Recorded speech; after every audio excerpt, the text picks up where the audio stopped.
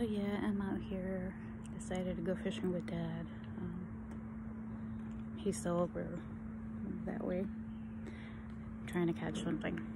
Nothing's really biting. Um, we got here a couple hours ago. So yeah, I probably got burned somewhere. I know that I've been turning red everywhere and it's said that Gilenya can cause cancer or skin cancer.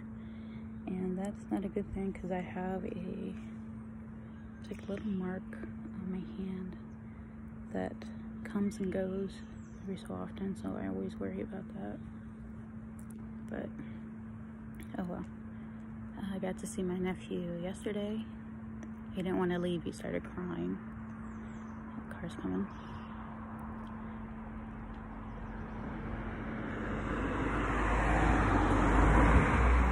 we were doing okay and then a small tick jumped onto my arm and tried didn't even try didn't break any skin or anything but it tried to burrow in my arm.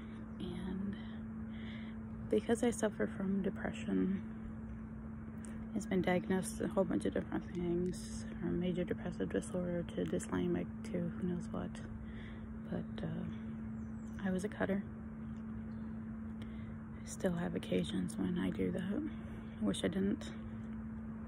Um, but I grabbed that little thing, tried to pinch it. It fell on my pants. Here's another car.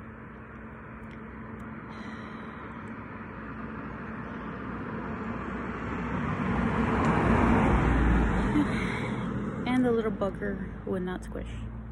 So it ended up falling into the river and gonna be some fish foods for somebody. Yeah, we're over here under a bridge, but yeah. I would prefer going to the other fishing place we usually go to because yeah, we probably would have caught fish. Um, my sister's mother-in-law came. She's helping out with the baby, which is really cute. Got photos of her holding her. She probably fed her and stuff. She is a daddy's girl because she will fuss with mommy, but she'll be nice and calm with daddy. And she's only, what, almost three weeks? But, can I grab that? Can I grab it? Yes, I grabbed a bug. Sorry. I tend to squish bugs in my hand. You know, flies, mosquitoes, uh, gnats, annoying little critters. But um, I'm here with the car because my keys are locked in the trunk, so I cannot go into the car until my dad comes back, if ever. Um, I've been doing okay. I got the Dexcom unit for my continuous glucose monitoring, so I still gotta tweak it, but I find that the exercising does help. And here's another car.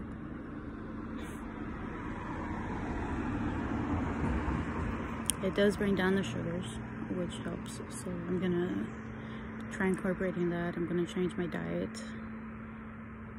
Yeah, the usual stuff that I have to do for diabetes and my MS is doing okay, but since we've been here and it's been for me it's been hot and you know ms patients we don't sweat like other people.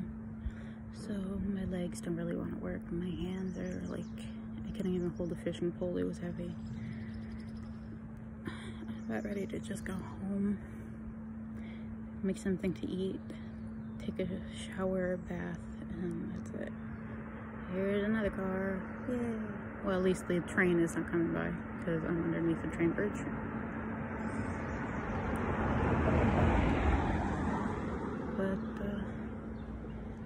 guess health-wise I'm doing okay. Better than I usually am, and I'm grateful at least that I have the Apple Watch. If anything happens, at least I can call for help. And that's it for today.